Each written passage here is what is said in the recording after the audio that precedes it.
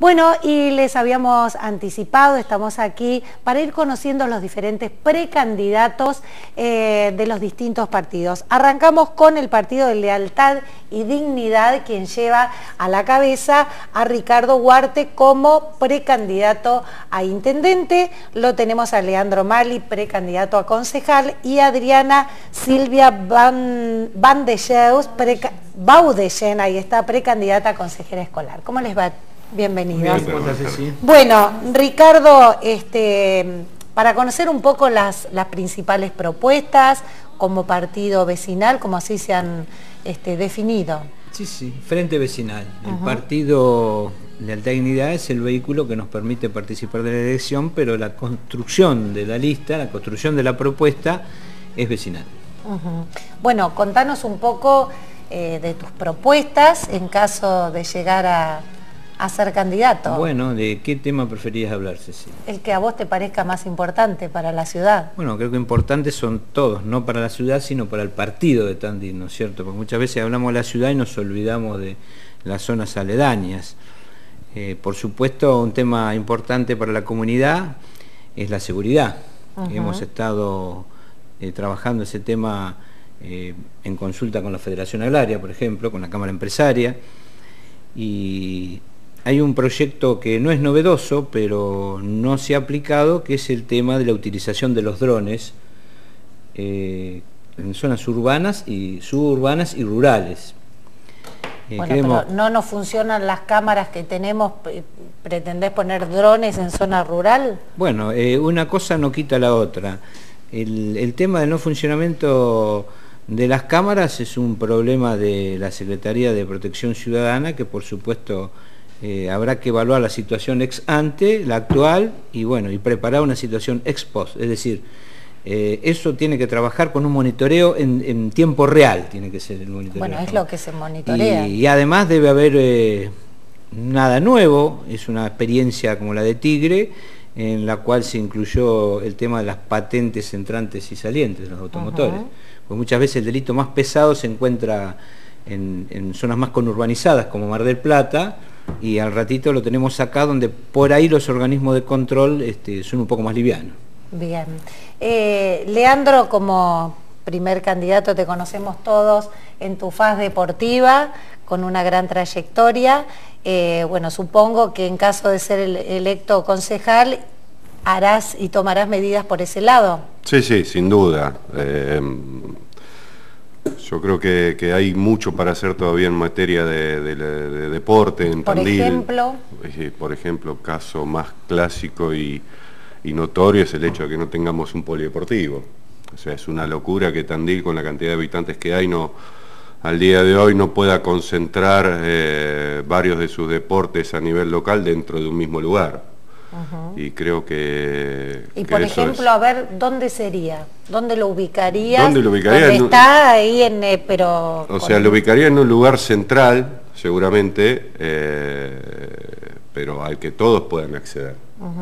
O sea, Tandil sí es grande, pero tenemos los medios como para llegar a un polideportivo, como para para poder usufructuar. no, que tenga un espacio techado, obviamente, de materiales de buena calidad, eh, donde se le pueda ofrecer a los, a los chicos eh, deportes, del deporte que ellos elijan y de forma gratuita.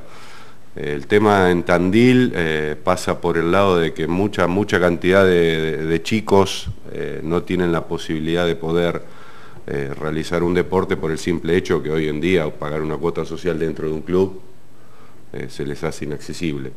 Entonces creo que está faltando eso dentro del área de, deportes de Tandil, ¿no? Un polideportivo como debe ser, como la gente de Tandil merece.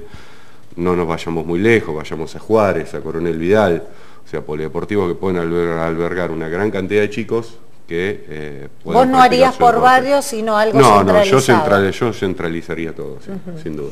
Eh, estamos charlando con precandidatos del partido Lealtad y Dignidad. Se quedan un bloquecito más, estaremos hablando con la precandidata consejera escolar. Hacemos una pausa breve, quédense, ya venimos.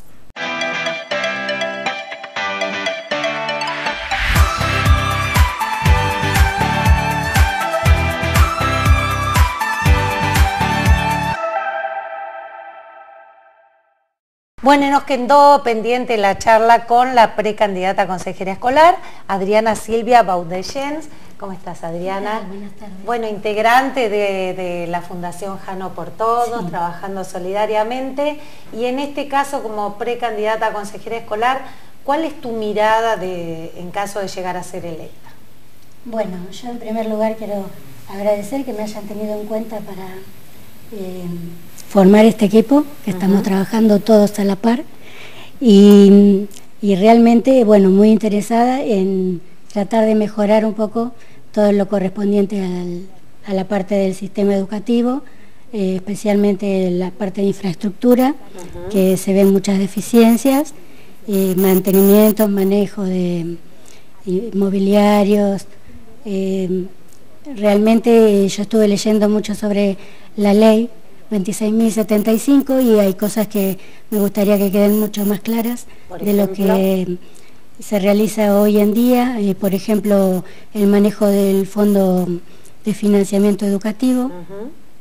Eh, yo creo que tiene que ser un poco más transparente todo lo que se realiza y realizar una de las propuestas... Eso debería ser una obviedad. Sí, pero no es, para mí no lo es y creo que mm, por ejemplo, una de las propuestas nuestras sería crear una comisión eh, para poder, mm, o sea, tener este, en claro eh, lo que se realiza con el fondo, cómo se utiliza y no solamente que estén a cargo de, personal de consejo escolar, sino que también que sea más abierto a la comunidad, eh, la información que se dé sobre ese tema y los manejos de los fondos, en qué se utilizan los recursos y mm, y también este, que formen parte de las escuelas, la, parte de directivos y todo eso, que tengan acceso a todos esos movimientos. Em, Ricardo, ya para ir finalizando, bueno, ¿por qué eh, la gente debería votarte? Bueno, porque hemos incrementado la oferta electoral en el partido de Tandil.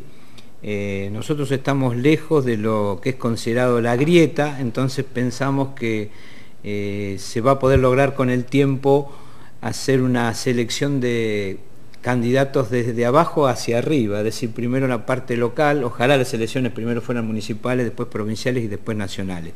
Entonces liberamos a la gente que pueda elegir a su leal saber y entender la parte provincial y la nacional y nos ocupamos específicamente de Tandil, dando de alguna manera eh, como una atalaya, un grito de alerta de que no es buena la grieta, ¿no es cierto? Chicos, les agradezco mucho y bueno, ha quedado presentada una vez más este, esta propuesta diferente, lealtad y dignidad. Muchas gracias.